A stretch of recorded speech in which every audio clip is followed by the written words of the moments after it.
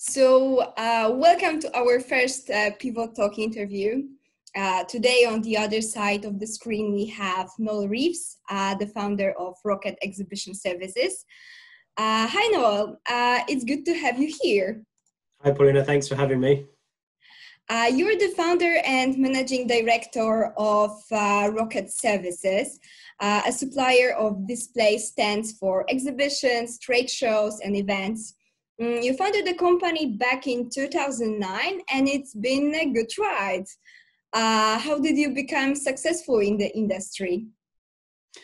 So I worked. I've worked in exhibitions pretty much my whole career. Um, so I did um, you know, ten years before I started Rocket, and I've worked in the organizer side, supplier side, and also I've been an exhibitor myself before. So when I started Rocket, it was very much about solving the problems that exhibitors had we started with the very small stuff, and then over time, just gradually did bigger and bigger, and got into more and more things to the position that we're in now, where we work with hundreds of companies uh, every year.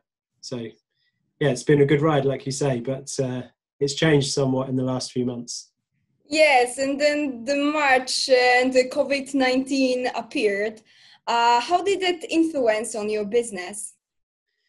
Uh, it stopped it almost uh, overnight. I was away uh, skiing on holiday in um, at the end of February. Um, came back and we had one one job at one show uh, cancel, and then within a week we lost an entire the, the pretty much a whole month's worth of work, and then the following week we lost another month or two's worth of work, and then all of a sudden shows started cancelling and we our entire order book, although we have we still have the orders or most of them, um, we don't know when we're going to get to deliver them. Uh, mostly, most of them have been postponed now, either to the end of the year or next year.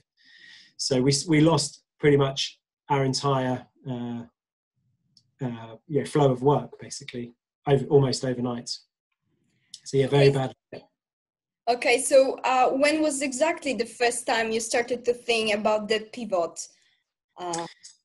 Um, probably not as early as you might think. Um, first of all, the my um, objective, main objective, was survival uh, for Rocket. So we had to work a way of um, hibernating the business, reducing the cost, keeping uh, keeping the money there to be able to deliver the projects that we have committed to.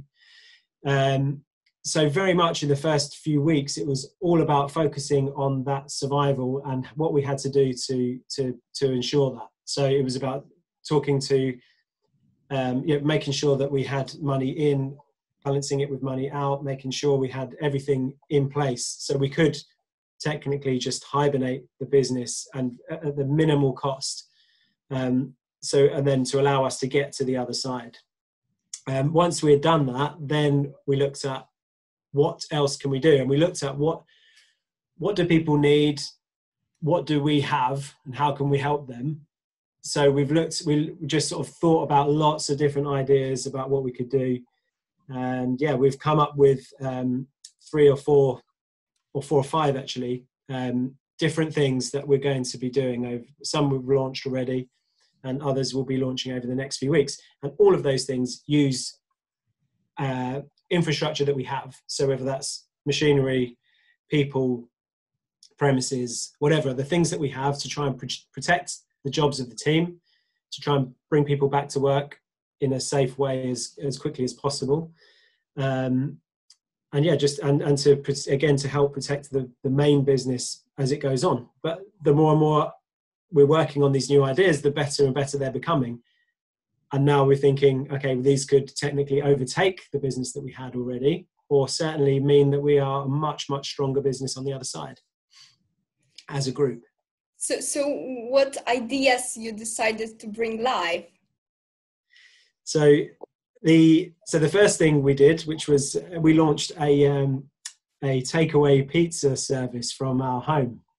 Uh, we have we have a wood fired oven in the garden which we've been cooking pizzas on for years and uh, we just i just thought well actually we can make we could we could sell pizza we can do it from home i'm home anyway we can service the local community. We live in a small village of about 2,000 people.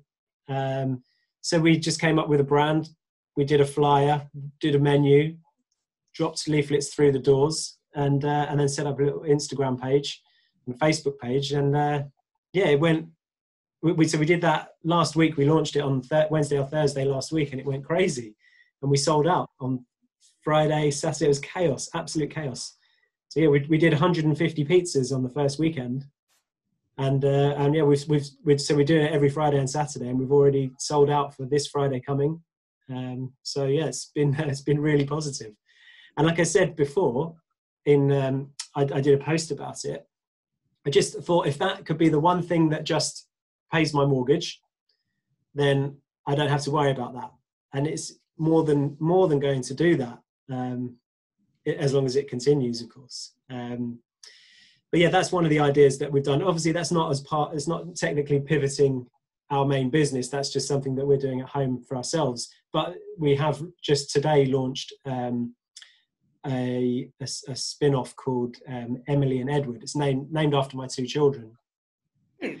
And it's a um, a, business that supplies brand um, not branded but uh, designed patterned self-adhesive vinyl for upcycling furniture. So for people who are at home, obviously everyone's at home at the moment. Um, to if you might have some a wardrobe or a chest of drawers or fireplace or splashback in the kitchen, anything like that, we've got a whole range of um, self-adhesive patterns that you can just do yourself. Um, very inexpensive, good, really good range. Um, so yeah, we've launched that today. That's really exciting, and we think that that's got a lot of legs um, as we try and get that out there. So and yeah, we've got a few other ideas that I can't talk about just yet, but they'll be coming out in the next few weeks. That's great. Uh, how do you imagine when the COVID 19 pandemic is gone? Uh, do you plan to extend the pizza business or the furniture business? Would you like to go on with it, or you would like to be back to the primary business? Uh, it's a difficult question. I, I, think yes. The answer to that is yes. It's whether it, I, what I need to do is obviously get that to a point where I, I, can't run it all, you know, on my own. I just don't have, I don't have time. Re- really, a struggle for time is is is the, is the big issue. So, um, yeah, we have to have to make it viable. But yes, certainly. I mean, we we said at the start, if if it takes off and it works, well, perhaps we'll open a shop in the town. Um, you know, why why why would you not do that? Um, so yeah, we'll see. We'll see. Watch this space. Certainly, the um, the Emily and Edward uh, will definitely definitely keep going. That's that's something I think is is going to grow to be something really substantial. Uh, and the other ideas as well. They're they're all designed to strengthen the existing business we have, um, or replace it. Um, for for the time being. So yeah absolutely we'll continue i imagine as long as they work we'll continue with them and we'll and it's also made me realize where my passion is about understanding people and why they what what they need and why they buy it and then trying to come up with something that fits that need and i realised that now i've you know i probably should have been launching other things before this um, so you know it's created an opportunity to give you time to think about it and make it happen that's great. Okay, so I have the last question. Uh, what were the three biggest challenges to completely change the direction of your business? Okay, uh, biggest challenges would be, I guess, mindset is the is the first thing because you think, well, this I've created, we've built this thing for years and years and years. It's all I've thought about and focused on. All of a sudden, you need to accept that it's changed. There is that side is now on pause. There are no events, so we cannot sell products for that. Um, so you have to accept that, and then, and then I guess uh, cost is an issue. Um, whatever you're going to try and do, every the talk at the moment is all about conserving cash and saving money, and you know but you can't do that when you're trying to launch a, new business. So you have to spend money, but you've got to spend it in the right way. And like I said earlier, you've got to leverage the assets that you've got in terms of, you know, you use those things. Um, you know, they, they say, you know, you can, uh, well, I, I said something the other day about you use what you've got to keep what you have. So if we can use the things that we have the, the, in terms of infrastructure, then we'll keep the keep the core together.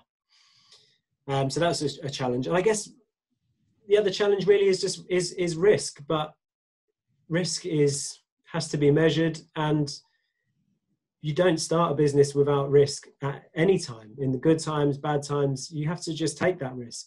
Um, yeah there's a big difference between a risk and a, and gambling you know gambling is when you you you you, take a chance on something that you perhaps can't really afford to lose. Um, so for me it's about measuring risk and thinking okay what's the impact if it doesn't work against what's the impact if it does? And if and if there's a, a good chance we can make it work then that risk is worth taking. Okay uh, so thanks a lot for this pivot talk i keep my fingers crossed for your pizza business and the other ideas uh, i wish i could try a piece uh, the weekend is coming super closely so that would be the ideal time for the pizza Anytime. Uh, Noel, thanks a lot one more time for, for, for this talk. And, Thanks for inviting me. I would like to invite you for other Pivot Talk interviews. Uh, I'm really curious uh, what are your thoughts on business uh, pivot examples. So let us know in the comments and thank you a lot. Bye. Thank you.